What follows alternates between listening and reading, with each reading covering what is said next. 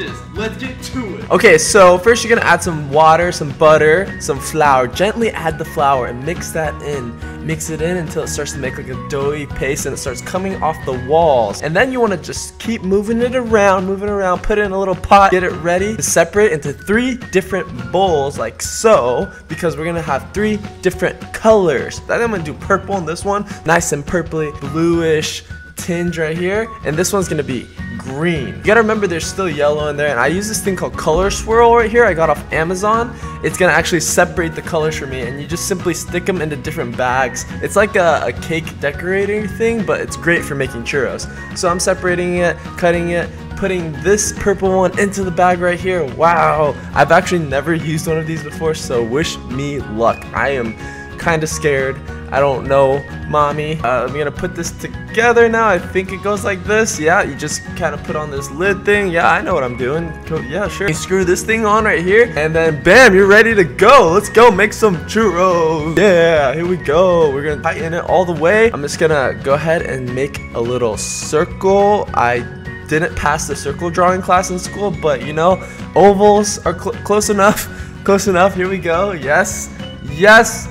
Yes, there we go. So you want to just make a bunch of these circles like that on a parchment paper tray and you want to go ahead and stick it in the freezer. While we stick it in the freezer, you know what? I'm going to just test out this churro and let's see if like it's even doable or if it's going to be a fail like the giant churros, but oh, they actually look nice. Hey, look at that. They're pretty. Okay, I'm just to squeeze some more. This is just kind of fun now. So if you're making normal churros, this is what you would be doing. You just put them in the oil and you got churros. Look at that. Wow, churros. Beautiful.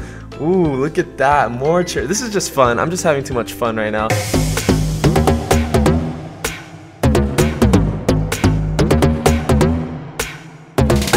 Alright, pull it out of the fridge now. It should be ready and hard and stiff and you want to get some oil in your pan, heat it up, grab one of these beautiful churros, put them in the oil, let them cook for a little bit. Yes, and then just take a peek at it. Ooh, look at that. Kind of pretty, wow. With the oil and the glistening, you want to put some more churros in there now. And then while your churros are cooking, you want to make the cinnamon sugar that goes around it. It's literally just cinnamon and sugar and you mix it together. It's that easy. But if you want to step it up a notch, you want to add some food coloring, make some more colors right here. This is some yellow color, some blue color. Look at that pretty blue. And then some red color sugar. And just mix it all together and just, yes, yes, red, yellow, blue power. Now you just check up on your churros again. That looks about done to me. It took about four minutes. And you just throw them in your sugar like this and just make them pretty, you know, because you're going to have some red dust sugar on this one. And it's going to be all cinnamony and delicious. Some yellow dust on that one. And then, of course, the blue dust on that. Just one simple flip. Now you're going to take your churro. This is going to be the base, the sandwich base right here. Just gonna put it on the bottom. You're gonna grab this, and then you're gonna realize that the spoon's just not gonna work out for you. So you're gonna be like, Mama, let me use your ladle.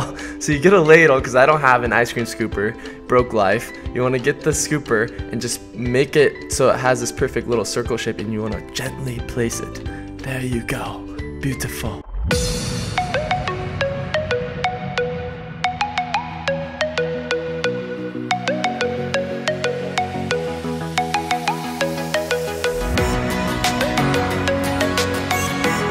Alright guys, it is time for me to try this rainbow churro ice cream sandwich. I was making some cinematics so it's kind of a, uh, a, little melty. No, I'm excited to try this either way. Let's take a bite of it. Let's see what it's gonna taste like. Okay, so we got it right here. Oh no, it's breaking. Okay.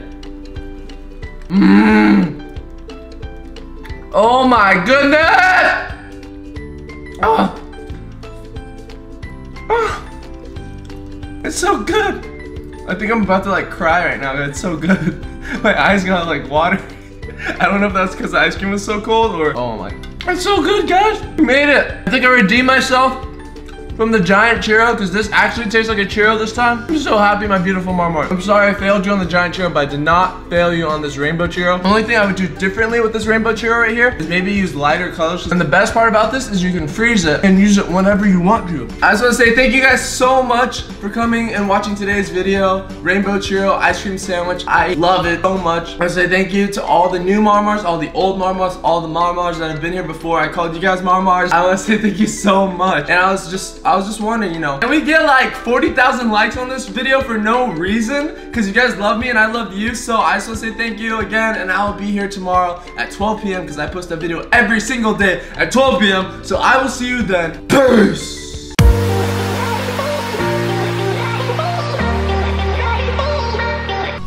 My beautiful Marmars, and welcome back to my kitchen. Today, we're gonna make something I can eat. It's a it's a black waffle, but yeah, you can eat it. Let, let's go. You're gonna need about two cups of pancake mix. I wanted to keep it really simple for you. Then you wanna add some water to your pancake mix. You wanna go ahead and grab your, some vegetable oil, and then get your mixing mix and mix it all together until it is nice and smooth, and the big lumpsy lumps are gone. Now you wanna get some cuttlefish ink. This is what